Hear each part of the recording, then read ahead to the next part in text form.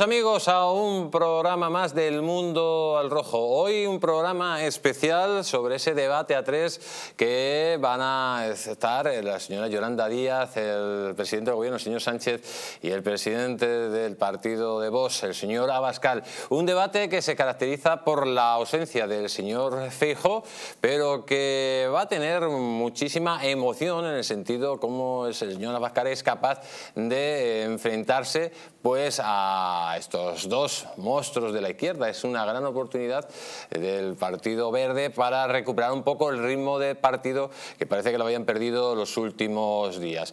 Hoy tenemos muchísimos invitados, pero vamos a empezar a hablar de los dos principales, o las dos principales invitadas que ya están aquí en el plato con nosotros. Con nosotros, eh, doña Carmen Tomás, ¿cómo está usted? ¿Qué tal? Muy buenas noches. ¿Qué impresión tiene usted de, de, este debate? ¿Qué puede proporcionar este debate?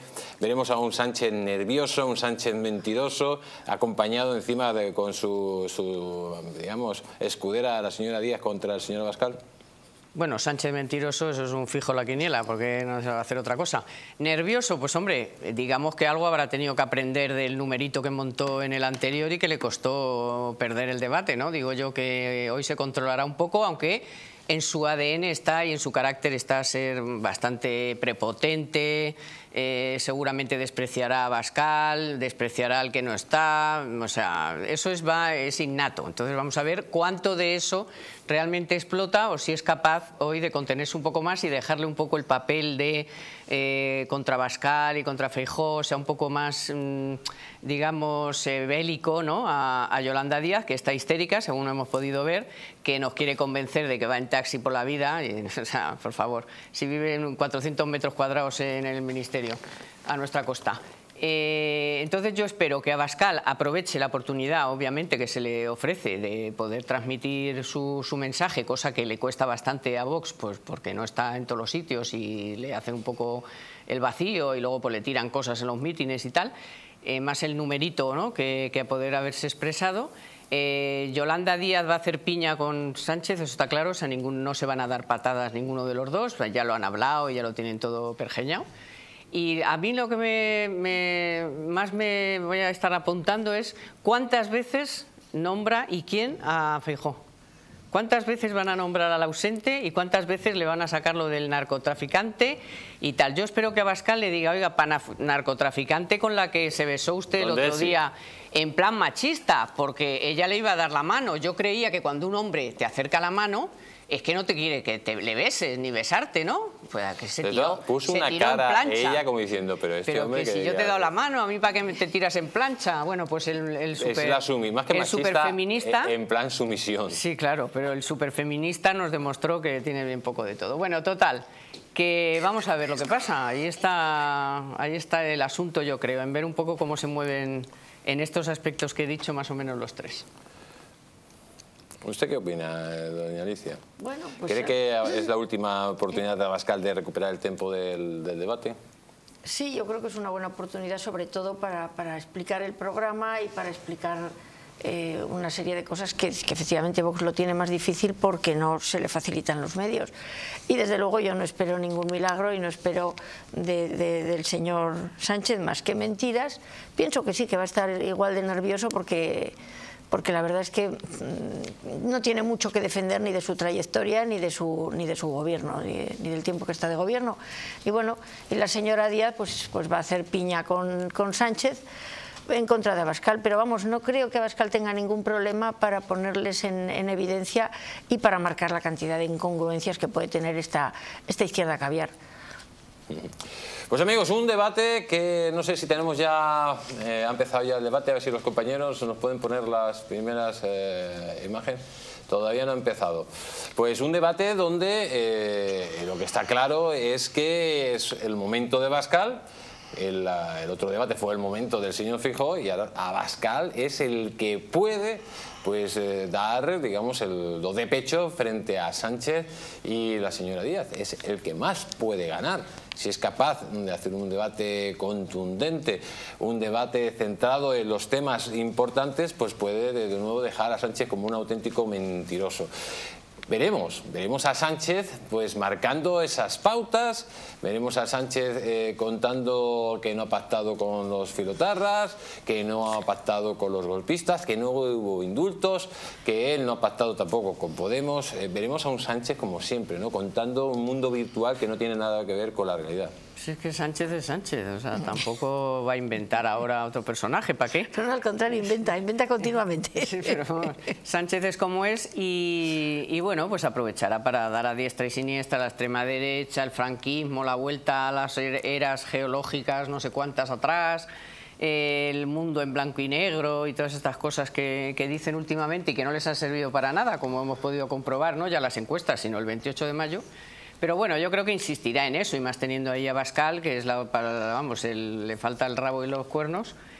Y, y Feijó, Feijó, Feijó, Feijó, le andarán dando por todos los lados que puedan y yo no espero mucho más de Sánchez. O sea, Sánchez ya, si es que Sánchez solo puede perder, porque ya ganar no va a ganar nada. Y la postura de Yolanda Díaz, Yolanda Díaz tendría que aprovechar también el debate, sobre todo para meterse con Sánchez, porque digamos, en los últimos días es Sánchez el que la ha ido poco a poco esquilmando de ese voto que se está yendo al voto útil, de, entre comillas, de, de la izquierda, pero si tiene una actitud sumisa, como lo que se prevé, puede perder también su oportunidad. ¿no? Ya, pero no, pero lo que cuentan es que han estado preparando el debate los equipos de los dos, que sean de, los papeles los tienen muy, muy repartidos, se necesitan mutuamente, Sánchez necesita que Yolanda le vaya mejor que lo que dicen las encuestas y a él también, él también necesita que le vaya mejor que las encuestas porque como sea como los 105, vamos, se arma la marimorena en, en el Partido Socialista. Pero, pero ¿cómo se van a cascar el uno al otro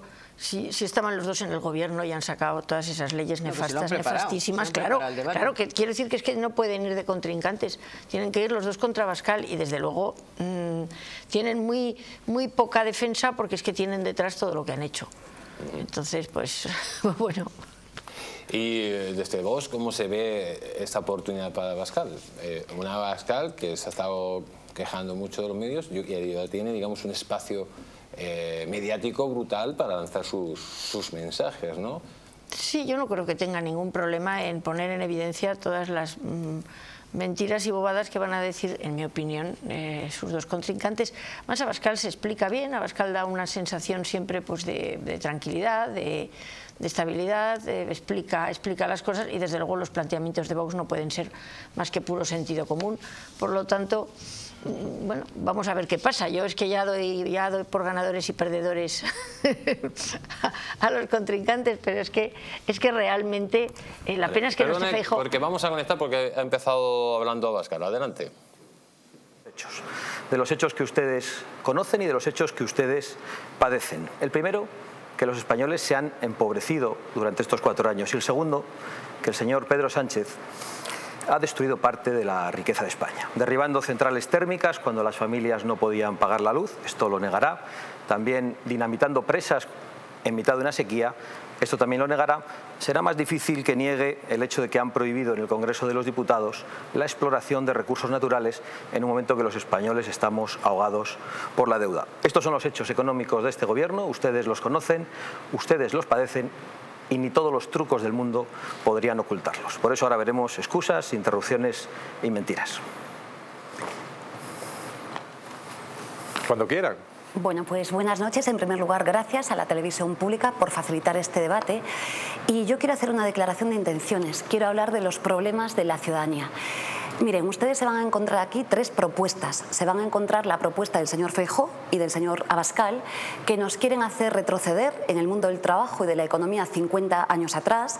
Y lo digo porque el señor Abascal y el señor Feijó, que representan exactamente lo mismo aquí, está representado por el señor Abascal, pues fíjense, quieren que una limpiadora, por ejemplo, trabajen hasta los 70 años, quieren privatizar las pensiones públicas o quieren el señor Feijó y el señor Abascal implantar la mochila austríaca en nuestro país van a ver una segunda propuesta que dicen que las cosas están bien, que hemos de conformarnos con lo que tenemos.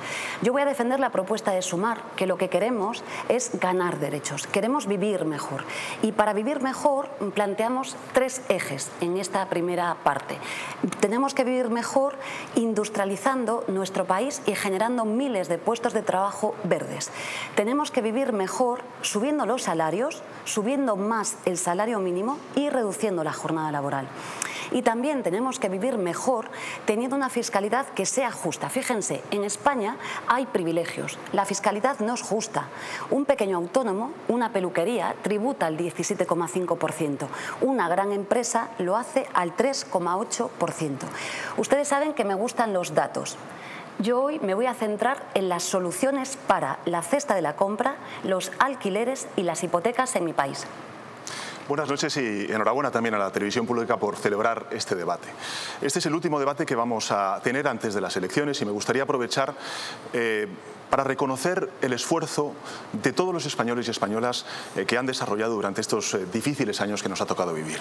Porque todos recordamos cómo empezó esta legislatura. Esta legislatura empezó con una pandemia, con los profesionales sanitarios dejándose el alma, la gente confinada en sus casas, los aplausos en los balcones, el gobierno buscando mascarillas, eh, respiradores por todas las partes del mundo, al tiempo que lo que hacíamos era proteger a los trabajadores, a los autónomos, a las pequeñas y medianas empresas y los otros caceroladas y diciendo que un gobierno democrático es un gobierno ilegítimo.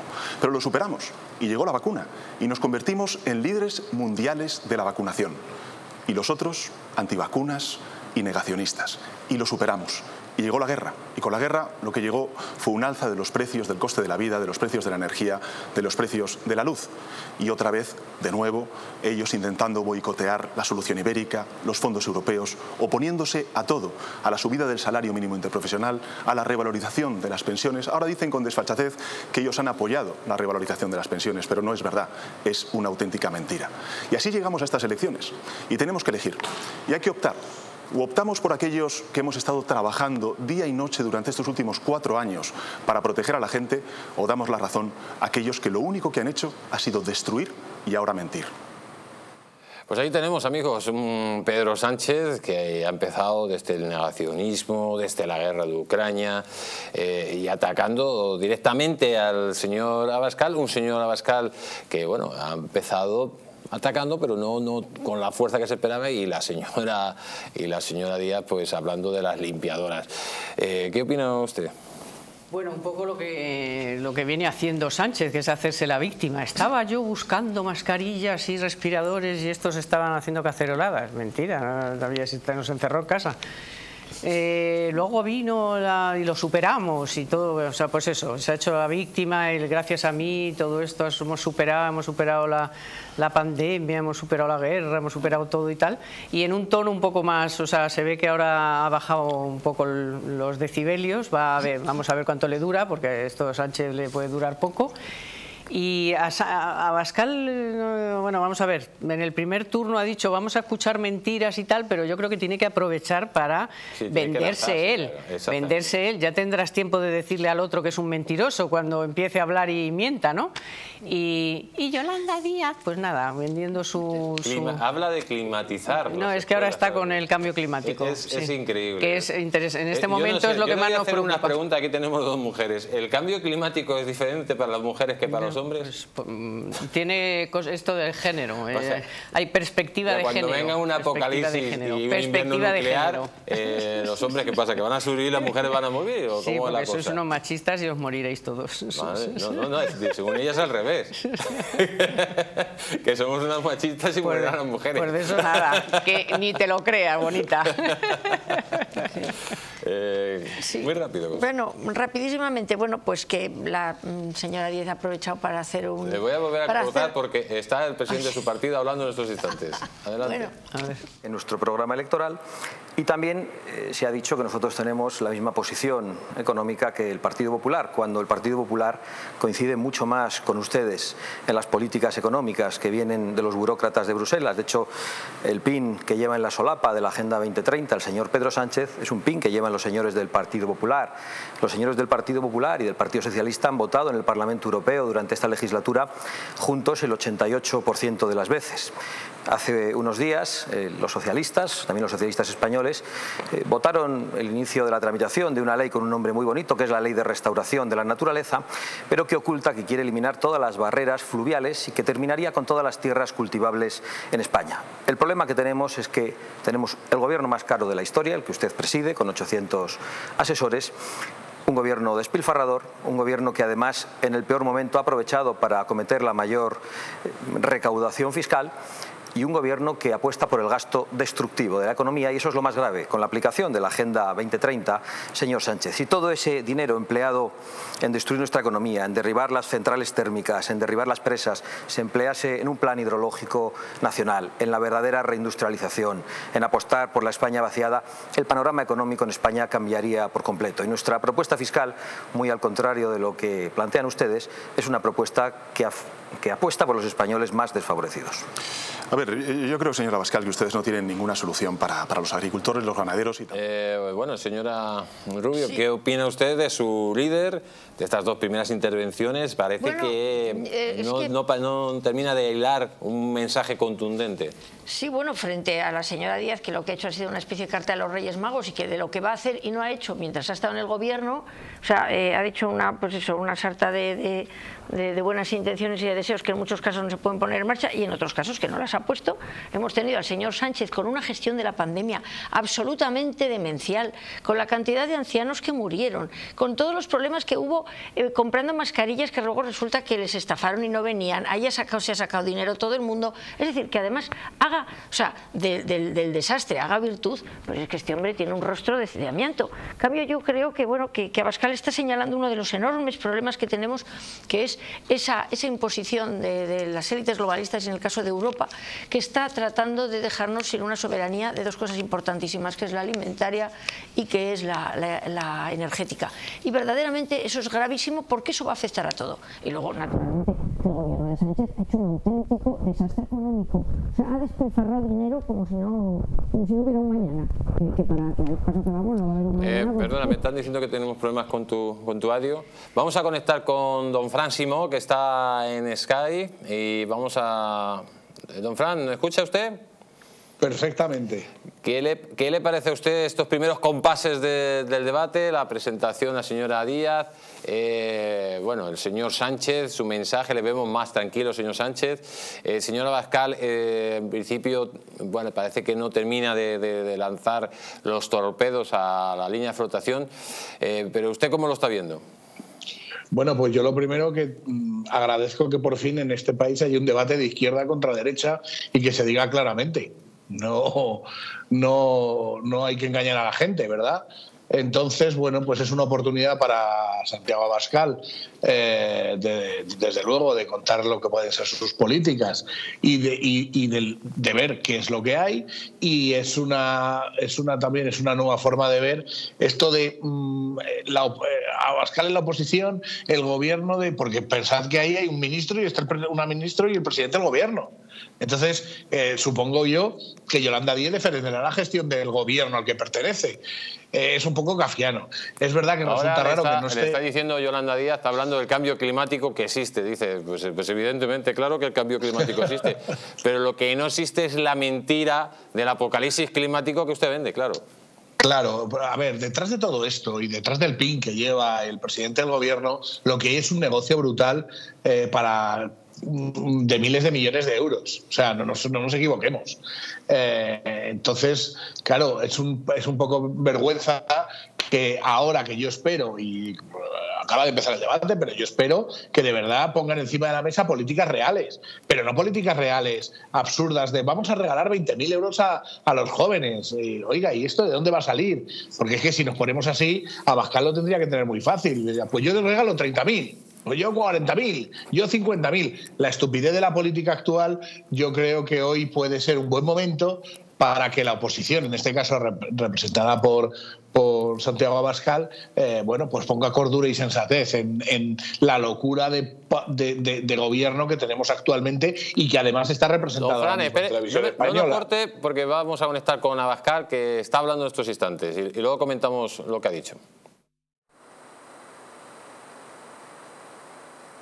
Que esa ley climática con un nombre tan bonito que votaron ustedes en el Congreso es precisamente la ley que impide la exploración y explotación de nuestros propios recursos naturales y energéticos cuando estamos padeciendo la dependencia energética, que nos ha dado tantos problemas precisamente en Europa, especialmente alguna nación como Alemania. Si no podemos explorar nuestro gas, si no podemos explorar nuestros hidrocarburos, por cierto, la Unión Europea ha decretado recientemente que la energía nuclear y el gas son verdes. Ustedes en estos se ponen en contra de la Unión Europea. Pero España tiene que apostar por todo tipo de energía tiene que apostar incluso por la energía térmica mientras las familias no llegan a final de mes. El problema es que aquí derriban ustedes las centrales térmicas como la de Carboneras en Almería, y la maquinaria se lleva a Marruecos. Y en Marruecos las levantan. Y están muy preocupados por el cambio climático, pero la atmósfera también se ensucia en Marruecos. Y en China, donde levantan 20 térmicas por cada una que echan abajo en España. Y la atmósfera no tiene fronteras. Con lo cual, me da la sensación de que ustedes lo que quieren hacer en una posición eh, casi supremacista es alejar de nosotros la contaminación y condenar a las clases más desfavorecidas, señor Sánchez. Ustedes siempre con el fin del mundo, con su nueva religión, pero los españoles no llegan a final de mes y quienes pagan el pato de esas políticas verdes con nombres tan bonitos son precisamente los agricultores, los ganaderos y los españoles más desfavorecidos que ya no pueden entrar al centro de las ciudades porque no pueden comprarse un coche eléctrico en las ciudades de menos de 50 mil habitantes, porque usted ha ido también más allá que el resto en, la aplicación de estas políticas. Usted no es un ejemplo, usted es la excepción ibérica en el peor de los sentidos. A ver, eh, la verdad es que me conmueve el señor Abascal porque se preocupa mucho por la gente humilde, por la gente que efectivamente no llega a fin de mes. ¿no? Don Fran, ¿ha escuchado usted la intervención de, Abascal? ¿Qué le ha parecido, sobre todo después que más o menos le están echando la culpa de que la gente no tenga luz porque la culpa es de vos? La gente no, si no tiene luz es porque las condiciones económicas que han dejado esta gente son miserables, ¿no? El socialcomunismo patrio no tiene vergüenza de verdad. Es que no la tiene. Es que están gobernando ellos. Ellos son los responsables de que tengamos la, tasa más alta eh, de pobreza infantil de la Unión Europea. ¿Mm? Ellos son los responsables de los 368.000 millones de euros que nos dejan colocados de deuda en la gestión de estos señores. Es que tocamos a 8.000 euros por español, contando niños, abuelos. 8.000 euros tienen ustedes de hipoteca más que cuando estos señores llegaron. ¿Han pedido ustedes un crédito al banco? Pues esto es lo que nos han dejado estos señores, por persona en España. Y tiene la cara dura, la cara dura, pero si el campo español está destrozado, pero esta gente habla con algún agricultor. Pero es que es una vergüenza, de verdad. Las políticas que están siguiendo por parte de la Unión Europea y por la parte de la Agenda 2030, ese pin tan asqueroso que tiene colgado este señor eh, opuesto en la solapa, este señor, y que representa lo que está haciendo el gobierno español, hacen que usted y yo no podamos entrar en el centro de nuestra ciudad con un coche. Aunque nosotros tengamos el coche antes de que haya sido la ley. Es que esto es tremendo.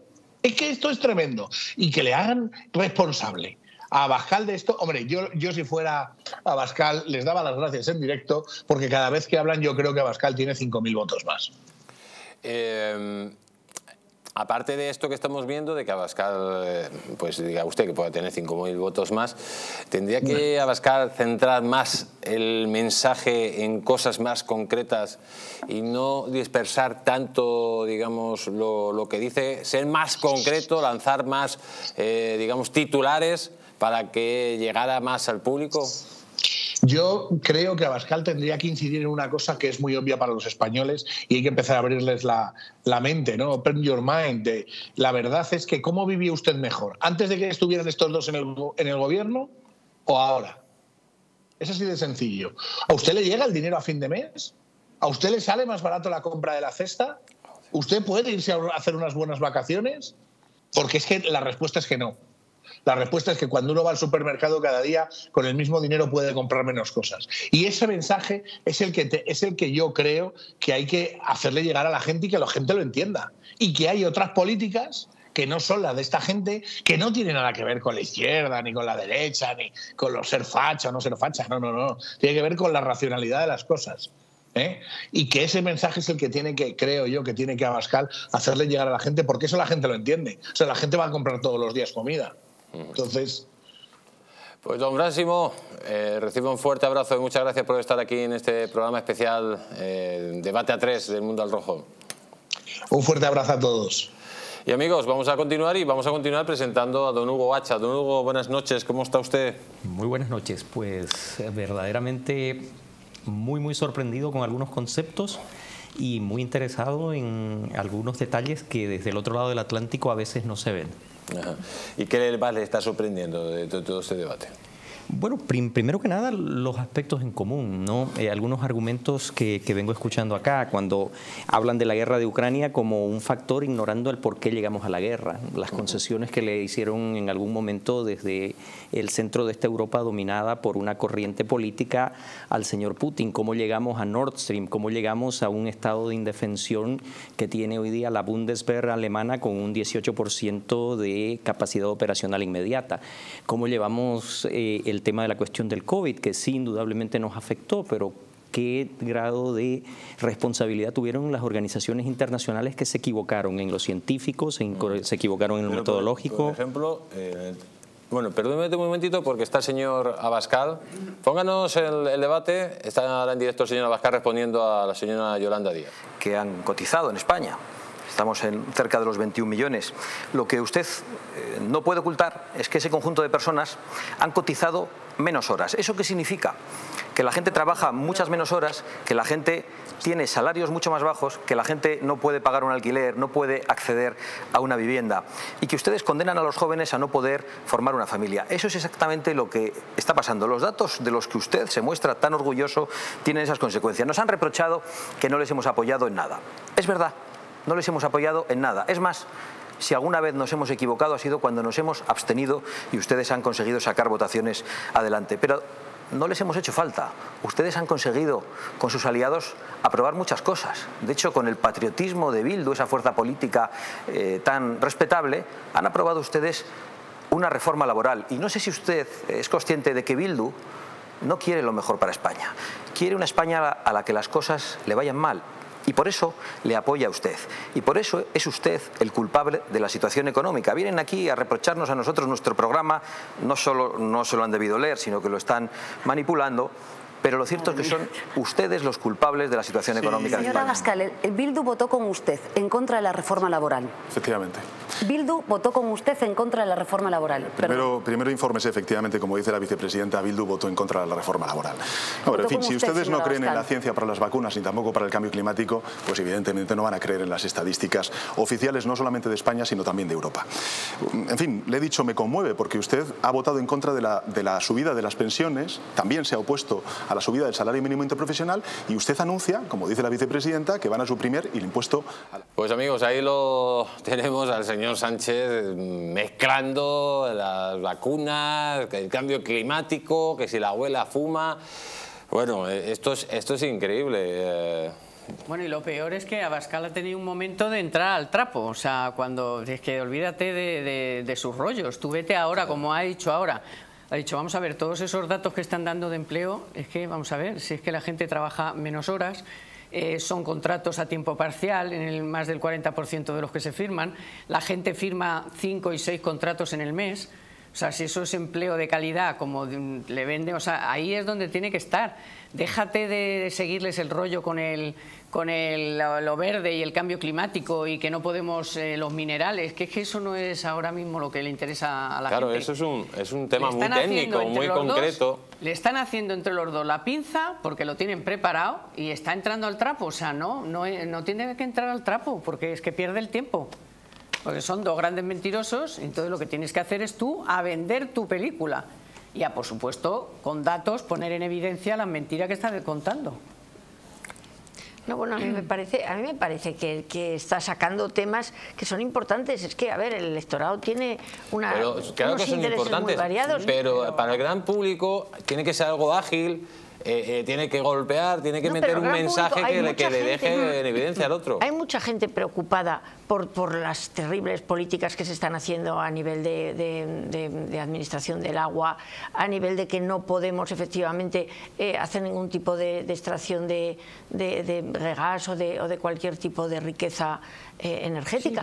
es preocupante, ya bueno, que el pobre, ya, pero lo ahora ya está entrando. Es verdad que también hay gente preocupada por el, desastroso, la desastrosa situación del empleo, la desastrosa situación de la economía. Vamos a darle oportunidad. Vamos a... No, es que le quedaban dos minutos y, me, le quedaban dos minutos, según han dicho ahora mismo, de economía. A ver, a ver, vamos a, vamos a a conectar de nuevo con, con el debate. Su discurso no es real, señora Abascal, no es real. Y también, eh, señor Sánchez, yo en las pensiones las vamos a defender, pero nosotros saben que tenemos una línea roja y no se va a alargar la edad de jubilación.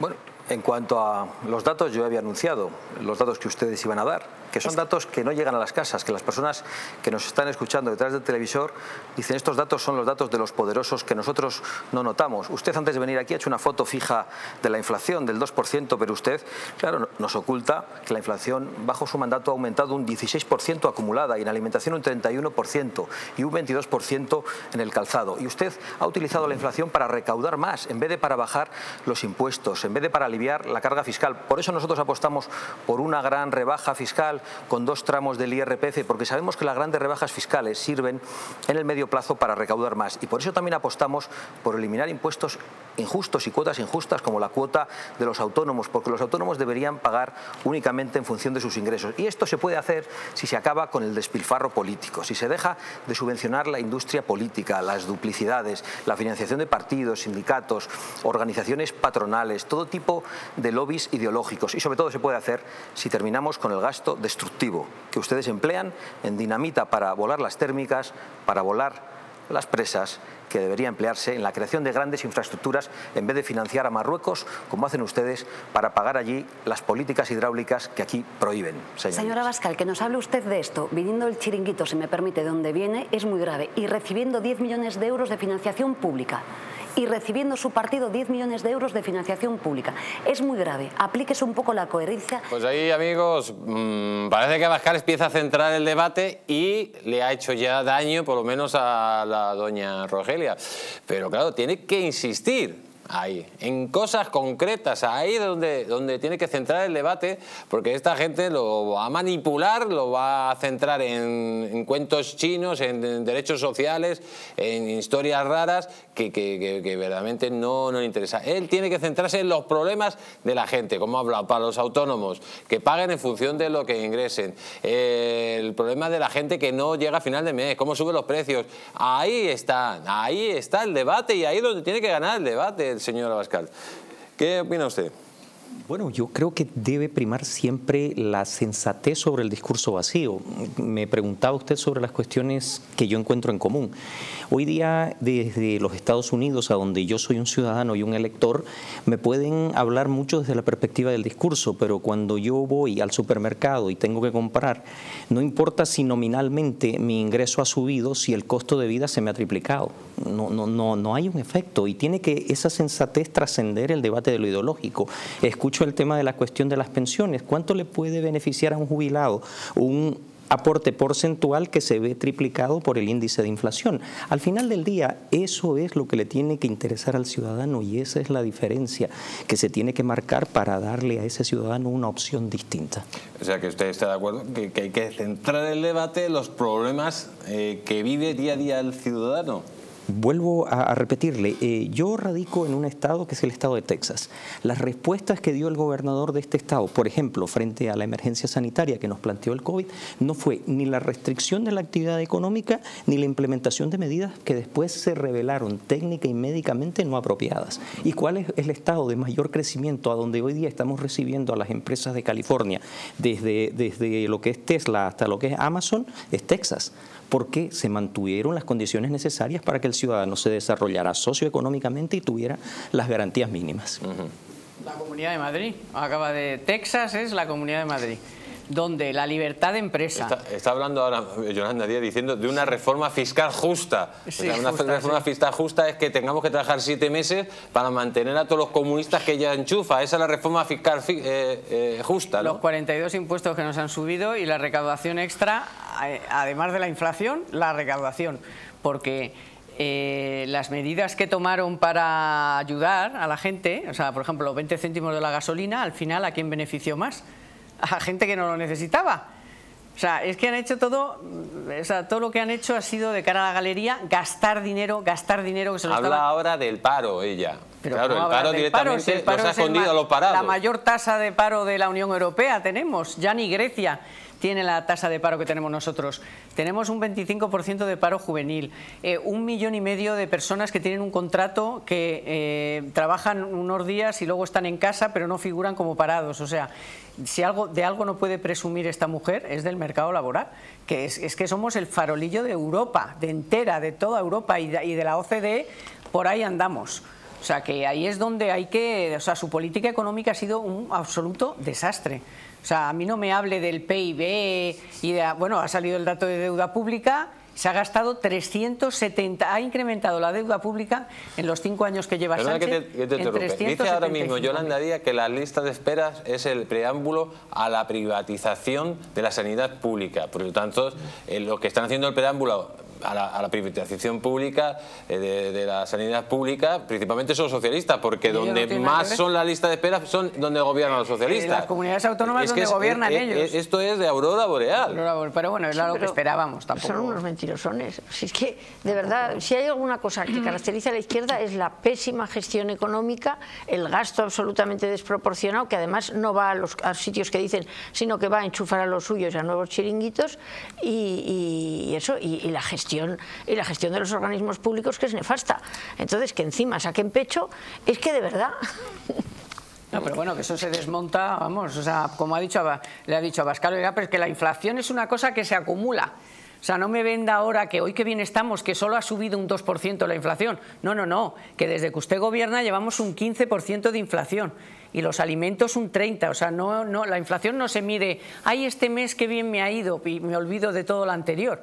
No, es, una, es algo que se acumula. Y de todas formas, Abascal yo creo que tiene para lanzarle un misil directamente ahora a esta señora y decir, ¿dónde están los parados que usted ha, escondido? ¿Cuál es el número de los fijos discontinuos? Exacto, díganoslo. Que todos los meses, todos los meses oculta.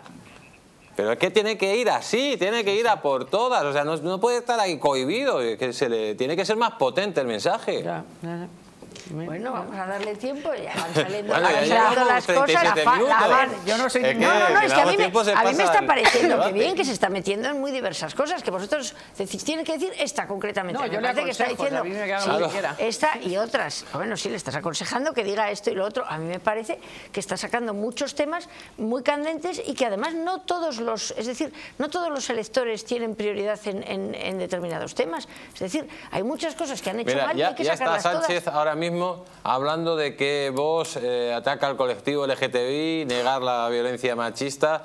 Eh, bueno, lo tiene también, como se dice, a huevo, como se dice vulgarmente. O sea, que le saque el tema de los violadores. Es que sí, pero lo va a sacar, estoy completamente bueno, pero, pero, que se lo saque. Ya lo tenía que haber interrumpido. Vamos a escuchar al señor Abascal, a ver qué hemos respondido. Es poder salir a la calle en libertad. La libertad y la seguridad de las mujeres ha sido puesta en peligro por este gobierno. No sé si ustedes saben quién es Daniel P.G. Eh, con esos datos imagino que no, pero se lo voy a decir, es un violador en serie de más de 19 mujeres que han sido víctimas de ese monstruo y ustedes, el gobierno, le han puesto en la calle. La última vez que salió a la calle tardó menos de un mes en volver a violar. Y ustedes, como yo, saben que lo volverá a hacer. Han puesto a 117 monstruos como ese en la calle y han rebajado las condenas a más de un millar, a más de un millar que acabarán saliendo pronto. ¿Qué van a hacer esos agresores sexuales cuando vuelvan a atacar? ¿Qué van a hacer ustedes? ¿Van a volver a salir a la calle con tranquilidad? ¿Ustedes van a asumir alguna responsabilidad con la aprobación de la ley que ha traído más violencia machista a España, con una ley que va a incrementar las violaciones en nuestras calles. Ustedes, señor Sánchez, han traicionado, han borrado y han desprotegido a las mujeres con sus leyes y están inhabilitados para un cargo público, para representar a las mujeres, por muchas pegatinitas moradas que se pongan en la solapa. Mire, señora Bascal, nosotros siempre defendemos a las mujeres, siempre. Y algunas veces cometemos errores. Ustedes siempre cometen errores porque siempre apoyan a los machistas. Esta es la realidad. Y los telespectadores tienen que saber que el único partido en el sistema político español que se ha autoexcluido del pacto de Estado contra la violencia de género ha sido Vox. Ha sido Vox. El Partido Socialista se define como un partido feminista. Lo hemos sido... ahí tenemos el, tipo que ha sacado a más de 120 violadores que van a volver a violar a la calle, el tipo que ha cogido y ha rebajado las penas a los violadores, a los pedófilos, a los depredadores sexuales, le dice al otro que es que él es machista y que va contra las mujeres. Pero si tú las estás poniendo en peligro su vida y su integridad sexual. Pero si es que eres el... el si, si Abascal es el partido de los machistas, tú eres el que representa, tú y la que tienes al lado, los partidos de los violadores, directamente. ¿Qué opina usted? Yo vuelvo a repetir, este tema que me parece de una bipolaridad eh, absurda. Eh, venimos a hablar de medio ambiente por un lado y por el otro lado y le damos todas las indulgencias a una China que tiene dos tercios de la emisión. No, vamos a centrarnos en lo que está hablando. No, no, ahora. es que voy a llegar ahí no. rápidamente, porque le habla de la cuestión de los derechos de la comunidad LGBT y afuera se va a apalancar todas las posiciones de regímenes que están en contra de esto. ¿Quiere usted un ejemplo para no irnos a la radicalidad islámica? En Cuba, la gran mayoría de los presos políticos que hicieron parte del movimiento San Isidro y de las protestas del 11 de julio eran afrocubanos y miembros de la comunidad LGBT. Eh, quiere decir que hay un LGBT al que tengo que Perdone, defender y uno segundo, al que tengo que ignorar. Porque ya está el señor Abascal. Vamos a ponerlo.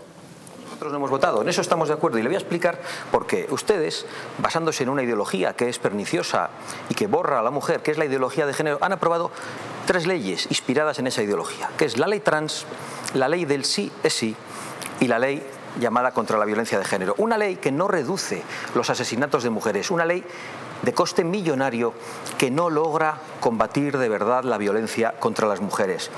Es un primer lugar, pero además hace otra cosa. Es una ley que acaba con la presunción de inocencia de la mitad de la población. Es una ley que crea tribunales de excepción para hombres. Es una ley que es utilizada de manera fraudulenta en muchas ocasiones en procesos de divorcio, señor Sánchez. Es una ley que no protege a las mujeres. Yo le voy a explicar para que usted lo entienda, que supongo que lo saben y lo hacen por eso, pero si no para que los españoles que nos están escuchando sepan por qué nos oponemos. ¿En qué consiste esa ideología de género que inspira sus leyes?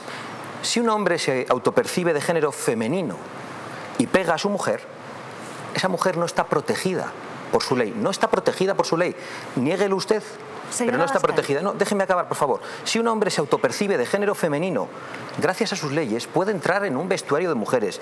Y si un hombre se autopercibe de género femenino, puede robar el esfuerzo de una deportista que desde niña se ha esforzado y subir él al podio en lugar de esa chica. Y si un hombre se autopercibe de género femenino y acaba de pasar en una localidad de Madrid, puede quitar a una mujer la plaza reservada en la función pública. Eso es así. Y por eso hoy Señora España está peor para Señora las mujeres Abascal, que señora antes de que Abascal, ustedes llegaran yo, al gobierno. Señora Abascal, le pido que deje de reírse de nosotras. Deje de reírse de nosotras. Sí, mire, ¿sabe quiénes son? ¿Usted sabe quiénes son? Estos dos hombres son sus diputados de Vox en Valencia. ¿Ve cómo se ríen? Se están riendo. ¿Sabe cuándo se ríen, señor Abascal? Ahora sé lo que tenían que sacar el señor Abascal. El tipo este, ¿se acuerdan del tipo que, que formaba parte del equipo de, de Yolanda, que me parece que estaba detrás de, de- de- de- de abusos? Condenado. ¿Condenado por abusos? por abusos.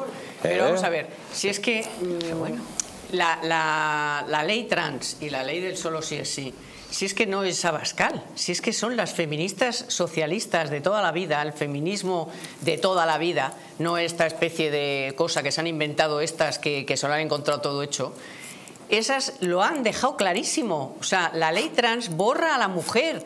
O sea, de cuándo un tío, porque se levante por la mañana así, que se siente mujer, se puede presentar a un concurso de, de natación que llevan la- las mujeres desde niñas eh, eh, entrenando ocho horas diarias. Pero vamos a ver, pero ¿a, a quién se le ocurre? O sea, ¿de cuándo un tío que por la mañana se siente mujer se mete en el baño con las mujeres? ¿De cuándo una ley es buena si lo que hace es sacar a la calle a violadores y a pederastas? O sea, pero es que ya no solamente los- las mujeres, los niños, o sea, pederastas, eh, abusadores y violadores de niños, o se les ha rebajado la pena o han salido a la calle. Pero si es que se le tenía que caer la cara de vergüenza, o sea, ¿cómo puede decir todavía que esa ley es buena y que bueno, Espera, tuvo espera, un error? Vamos a poner al señor Abascal, que está respondiendo a doña Rogelia, A ver. por cuando decía, le decía que se estaba riendo de las mujeres. Pónganlo, pónganlo. Defendiendo a mis hijas también, estoy defendiendo a mi mujer, estoy defendiendo a mi madre, estoy defendiendo a todas las mujeres que votan a Vox y que confían en nosotros, a las que usted no representa. Pero eh, usted me ha sacado, eh, perdóneme, ahora que esto se estaba poniendo un poco vivo, si le, le ruego que me deje hablar un segundo, usted ha sacado aquí una foto manipulándola. ¿Por qué no habla usted de quién es Ramiro Santaelices? ¿Usted sabe quién es Ramiro Santaelices? Explique que era un asesor suyo, que fue denunciado por No, pederastia. inter- interpuse Por- yo la por denuncia, pederastia. señor. No, no, le- Señora no, usted lo encubrió. interpuso yo la Usted denuncia, lo señora encubrió durante dos años. Echó a los que le habían Señora denunciado. Y- además, después de aquella hechos, denuncia que, se sabe que usted la encubrió. Señora denuncié no, yo esos No es hechos. verdad. Está un pederasta mintiendo. que trabajaba para usted y después de que unos compañeros le denunciaran, usted lo nombró. Así que, por favor, tenga cuidado con las acusaciones que hace. Pero yo quiero hacerles una pregunta. Porque hágasela al señor Sánchez, que lleva tiempo sin intervenir, si quiere. Nada, si puedo simplemente ¿Quién interviene puntualizar. Si puedo puntualizar, eh, a ver, eh, la igualdad mm, de género no es una ideología, es, es una cuestión de derechos humanos. Y el dato es el siguiente. Solo el año pasado, señora Bascal, se presentaron en nuestro país 180.000 denuncias por violencia de género. 180.000. Cada día se presentan de media 500 denuncias por violencia de género. Usted dice que no Pues existe. eh, estamos escuchando, estamos escuchando al señor Abascal, ahora sí que le acaba de lanzar un crochet directamente a la Yolanda Díaz, de- hablando de que si eh, los de vos, no, no, pero si tú tenías un asesor que era un pederasta y lo estuviste ocultando, quien denunciaba al pederasta cogías directamente y le sacabas. Pero vamos a seguir escuchando al señor Abascal.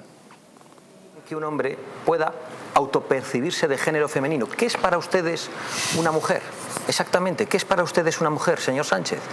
¿Qué es una mujer para ustedes? Yo, yo lo tengo claro, pero ¿qué es una mujer para ustedes? ¿Qué es una mujer, señora Abascal, para usted? Lo estoy preguntando yo. No, le pregunto yo a usted, ¿qué es una mujer para usted? Pues aquí se ha quedado en tablas. No lo van a contestar. Pero si ustedes piensan que un hombre que se autopercibe de género femenino es una mujer, ustedes están muy equivocados y ponen en riesgo a las mujeres. Mire, acaba de salir la noticia hace un momento de que hay un violador y un asesino en la cárcel que se llamaba Jonathan, en España, y que quiere llamarse Loreta y que se autopercibe mujer. Le han puesto ustedes en un módulo especial a la espera de que sea más femenino para trasladarle a la cárcel de mujeres, a que evolucione el fenotipo. Esto es verdad, esto es verdad y ustedes no pueden negarlo. ¿Qué están esperando? ¿A, a que se maquille o están ustedes esperando a que pasen las elecciones? No esperen porque las van a perder y ustedes no van a gobernar. Pero esto es lo que han hecho ustedes con las mujeres, ponerles en peligro en las calles y borrarles y decir que un hombre que se autopercibe de género femenino puede ser una mujer. Me me permitirá simplemente hacer un comentario a los telespectadores. Esto es lo que ha traído Vox a la política española. Odio, insultos y mentiras. Y por eso van a perder las elecciones usted y el Partido Popular. Sí, eh, señora... O sea, el, se- el señor Sánchez que vos ha traído odio, insultos y mentiras. O sea, lo dice este señor que cuando ponen ustedes mentirosos en, eh, en el, en el diccionario de la Real Lengua de la Academia Española, sale su cara. Y odio, pero si nos ha llevado al guerracilismo del año 36. Pero además insultos, pero, Pero insultos- Pero, ¿A quién ha insultado a es- si no ha dicho ningún insulto. Es que cuando no sabe qué decir, nada, dice, claro, no sí. insulten. Y dice, pero si no estamos insultando. No, no, pero es evidente, pero está resultando evidente. Lo que pasa es que las huestes de este señor se quieren creer eso. Y luego, además, yo le diría a la señora Díaz, vamos a ver, eh, deje de reírse de nosotras, será de usted y de sus amigas, porque desde luego de muchísimas mujeres no se ríen. A mí, esta de repente mm, capacidad de representarnos a todas las mujeres que tiene la señora Sánchez y, y su equipo de señoras, no, no, se representan ustedes a sí mismas. Y a lo mejor a las que les han votado, que no lo sé, pero desde luego hay millones de mujeres que no nos vemos representadas por esta señora y, no nos vemos representadas por las leyes que han sacado. Y no solo eso, sino que denunciamos que son leyes que van contra las mujeres. Que no lo dice solo Abascal, que lo digo yo y que lo decimos millones de mujeres. Pues vamos a continuar, amigos, y vamos a mm, presentar a, a Mabel Petit, que está aquí eh, en el debate, en este mundo al rojo, y quiero que me haga una, una rápida intervención. Mabel, buenas noches. ¿Cómo lo ves? 30 segundos, ¿cómo está viendo el debate? Mira, interesante porque se puede ver las dos versiones de la mentira y lo que es la tradición de las mujeres a lo largo y ancho de Occidente. Así es que creo que esto nos ayuda para que la gente que tiene todavía sentido común entienda la diferencia entre la ideología de género y la tradición occidental. Muy rápido. Yo tengo que ratificar lo que dice Maigorta. Aquí no se trata de desmerecer los derechos humanos de la comunidad LGBT, pero negar de que hoy día se hace una política en desmedro de la mujer, de sus espacios y de lo que son sus derechos, eh, sería caer en el absurdo. Pues amigos, vamos a conectar con el señor Vera. Don José Antonio, buenas noches, ¿cómo está usted? Muy buenas noches, don Jesús. Pues nada, aquí muy entretenido con, con este debate que efectivamente pues eh, da para comentar muchas cosas, como es lógico. Estamos viendo que ya el señor Abascal ya se ha lanzado, ya ha empezado a dar mamporros, eh, sobre todo con el tema de la ley del sí o sí y luego con el tema del asesor pedasta de Yolanda Díaz, que bueno, eso no sabía ni cómo responder, y con una pregunta que le ha dejado loca a Yolanda Díaz, diciéndole directamente que si sabe lo que es una mujer, que no ha sido capaz de responder. Sí, no, yo veo en este debate una cosa. Me parece que en el momento actual, ¿eh? porque todavía queda un rato y las cosas pueden cambiar, ¿no? Pero a mí me parece que en la, posición en el escenario, Abascal mm, está ocupando mejor el escenario que los, eh, que los contrincantes, particularmente mucho más que Yolanda Díaz, que es con quien él se juega un poco los cuartos desde el punto de vista de los escaños por los que tiene que competir, pero también incluso con, con, con, Pedro Sánchez. Hay una cosa que les diferencia mucho, se habrá, se habrá dado cuenta Jesús, se habrá dado usted cuenta de que, por ejemplo, Sánchez esta noche no interrumpe nada, ¿no? El otro día interrumpía eh, todo el eh, rato. espere un segundo, don José Antonio, que vamos a conectar, que está hablando en estos instantes el señor Abascal. No me han contestado ustedes si una mujer realmente es un hombre que se autopercibe de género femenino, simplemente. No han querido abordar esta cuestión. Han eludido la cuestión de que ustedes han puesto a las mujeres en verdadero riesgo. Ustedes son los culpables de que las mujeres estén hoy en mayor peligro en las calles. Bajo su gobierno han aumentado el número de violaciones en las calles y ustedes no han conseguido reducir con esa ley de violencia de género los asesinatos de mujeres. Es decir, que ustedes con esto solo se dedican a acusar y después, en cuanto ven que alguien les planta cara y les discute, quieren eludir el debate. Yo no eludo ningún debate, ni siquiera el de la ley trans. La ley trans lo que hace, entre otras cosas, es corromper a los niños más pequeños en los colegios. Porque entran los activistas a contarles cosas que los niños no deberían conocer y a decirles, y muchos padres que nos están escuchando en sus casas lo saben y lo padecen, a decirles que no son un chico, una chica, que podrían ser otra cosa cuando ni siquiera se les ha ocurrido pensar en eso. Es una ley que confunde a los adolescentes en el momento más complicado de su vida. Es una ley que además condena a la mutilación, a muchas personas a la mutilación irreversible y les condena al tratamiento farmacológico y médico irreversible. Y hay muchas personas eh, que han hecho esto impulsadas por la presión de las políticas públicas que después se han arrepentido y a ustedes acabarán demandándoles estas personas y estos jóvenes a los que han confundido sin ningún tipo de freno ni de. Esto es lo, lo doloroso, ¿no? que al final se hayan puesto de acuerdo el Partido Popular y Vox en estas cosas.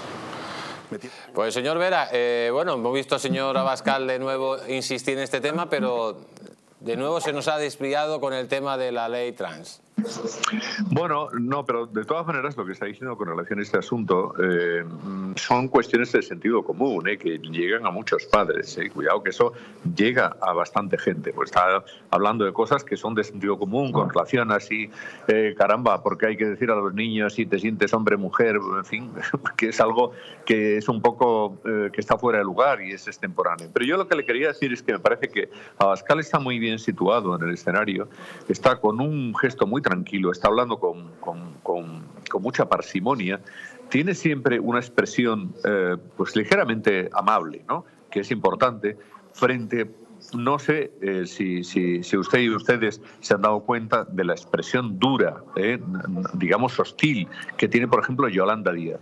Y, por ejemplo, en el caso de Pedro Sánchez, que está también particularmente, particularmente duro. En este caso no ha interrumpido nada, porque claro, como en la, en la, anterior ocasión no dejaba absolutamente hablar, interrumpía todo el rato, efectivamente pues se le acusó de que al final había perdido el debate en parte porque había sido un maleducado. Bueno, ahora no está interrumpiendo y está dejando, y esto es bueno, a Bascal que exprese sus cosas en algunos asuntos en los que está pegando fuerte. Y usted lo ha dicho, don Jesús, en el ámbito, por ejemplo, del tema de los violadores, ahí ha pegado muy duro. ¿Por qué? Pues porque ahí tenía todas las de ganar.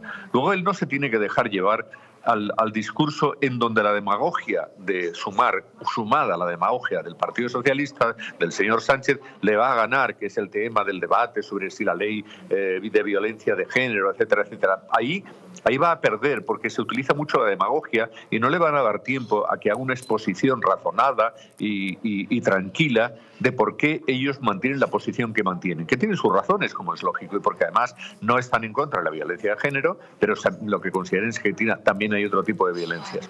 Pero luego en, el, en, el, asunto de los violadores, en el asunto de la ley trans, ha pegado bien a Bascal y eso se ha notado. Y en la parte primera, en la parte de la economía, ha estado bastante bien Abascal, porque ha dicho cosas que llegan igualmente a los ciudadanos, particularmente todo el asunto este de que los agricultores, fíjese usted, con todas estas medidas fantásticas que se están proponiendo de la chapa que lleva usted en la solapa, señor, eh, señor eh, Sánchez, pues lo que va a significar es que los agricultores van a poder, eh, perder poder adquisitivo, van a encontrarse una peor situación, lo mismo que los, que lo mismo que los pescadores y lo mismo que buena parte de la ciudadanía, porque se dedican ustedes a derribar presas y se dedican ustedes a derribar centrales de, de ciclo combinado.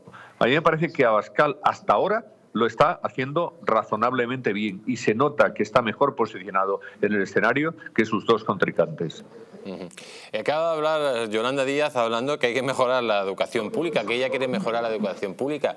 Difícilmente va a mejorar la educación pública con las leyes que han hecho en el gobierno, que la destrozan, o sea, básicamente lo que quieren es que haya borregos, niños eh, que, que no sepan nada para poder manejarlos, ¿no? Lo primero que usted tiene que hacer para que la educación esté verdaderamente sea una educación pública, razonable, es que los padres tengan cierta capacidad con relación a la educación de sus hijos, que es algo que ellos quieren destruir porque aquí de lo que se trata es que los hijos pertenezcan al Estado, que los hijos, eh, digamos, eh, a, la hora, una vez que llegan al colegio, ya están en manos de los educadores y los padres, pues como que no tienen nada que ver. Y esto es una auténtica aberración. Va en contra del sentido común, va en contra de lo que dicen la inmensa mayoría de las familias y de los padres.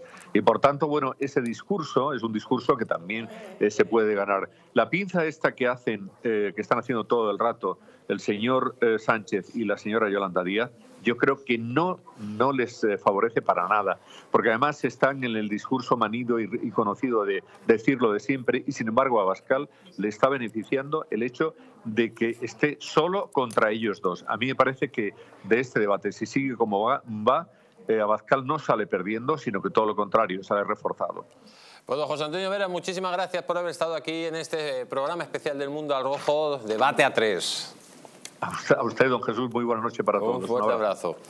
Eh, bueno, habrán oído ustedes en Estados Unidos que la señora Carmen Tomás se estaba riendo porque decía el señor, el, señor Sánchez que van a hacer la próxima legislatura de la vivienda su objetivo principal. No han hecho ni una vivienda, pero ahora sí. Eh, vamos a escuchar a la señora Bascal que empieza a hablar de nuevo sobre vivienda durante estos cuatro años. Parece que acaban de llegar y el que no ha gobernado durante estos cuatro años he sido yo, señor Sánchez. Me sorprende ver a la izquierda hablar de los trabajadores mientras durante este gobierno se han destrozado las condiciones de vida de los trabajadores, se han deteriorado los servicios públicos y se les ha condenado a vivir peor que las generaciones anteriores. La seguridad en los barrios más humildes y más desfavorecidos es peor, cada vez peor, por la gente que ustedes han puesto en la calle, por la gente que ustedes traen para las mujeres, para los niños, para los mayores. Se ha roto el ascensor social de la educación porque ustedes la han desvalorizado. Y cuando se rompe el ascensor social de la educación perjudican a las personas más humildes. Parece que ustedes no han gobernado, pero ustedes son los culpables. Pues aquí lo, dejamos. Eh, ahora abrimos un descanso de cuatro minutos para que puedan eh, refrescarse o hablar con sus asesores. Mi opinión personal es que el debate... Pues amigos, eh, ya hemos escuchado al señor Bascal. Ahora va a haber una pausa de, de cuatro minutos. Nos vamos a publicidad y volvemos.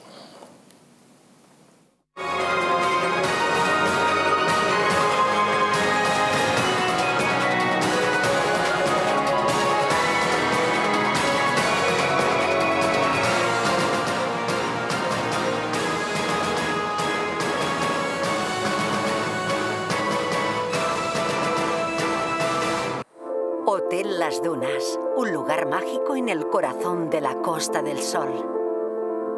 En primera línea de mar, situado en un oasis de armonía, tranquilidad, enfocado en la salud y bienestar de nuestros huéspedes.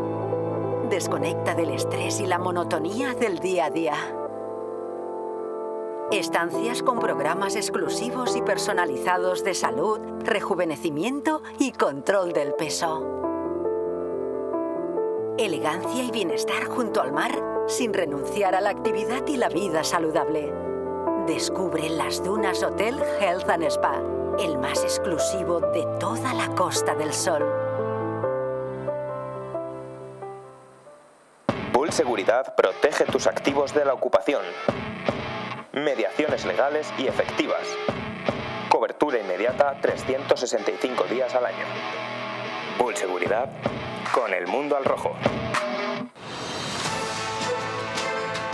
Economics, un programa en Distrito TV donde tendrás acceso a las últimas novedades en mercados, empresa, economía para España y el resto del mundo.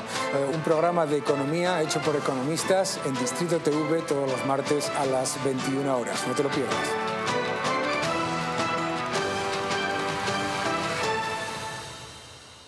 Naturhaus es el mejor método para perder peso de forma saludable y sin pasar hambre. Desde la primera visita, una asesora te enseñará a cambiar tus hábitos hasta alcanzar tu peso perfecto. Lo conseguirás gracias a complementos alimenticios a base de extractos naturales y platos deliciosos. Apúntate ya en tu centro Naturhaus más cercano y online a través de naturhaus.es. Naturhaus, 30 años de experiencia en nutrición y dietética.